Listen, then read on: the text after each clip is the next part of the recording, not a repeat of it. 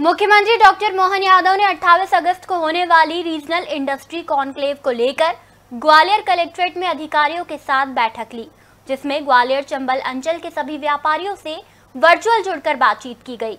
मुख्यमंत्री डॉक्टर मोहन यादव ने ग्वालियर में रीजनल इंडस्ट्री कॉन्क्लेव को लेकर बैठक की, जिसमें व्यापारियों से नए काम में जुड़कर विकास करने पर मंथन किया।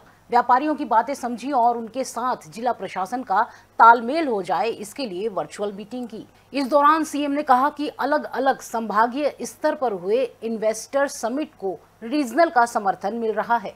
पूरे देश और प्रदेश से समिट की लोकप्रियता भी बढ़ रही है। उन्होंने कहा कि मुझे उम्मीद है कि ग्वालियर की समिट बहुत अच्छी रहेगी। इन्वेस्टर समिट के पहले वातावरण बनाने के लिए, उनकी बातें समझने के लिए और जिला प्रशासन से उनका तालमेल हो जाए इस दिशा में वर्चुअल मीटिंग की थी।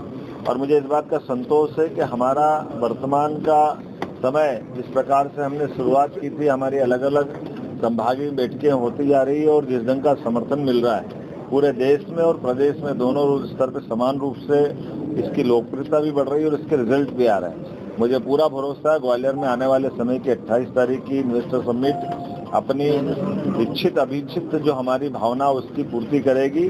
बड़े पैमाने पर निवेश भी आएगा और Rabindranath Tagore university, Bhopal N I R F rank for five कंजिक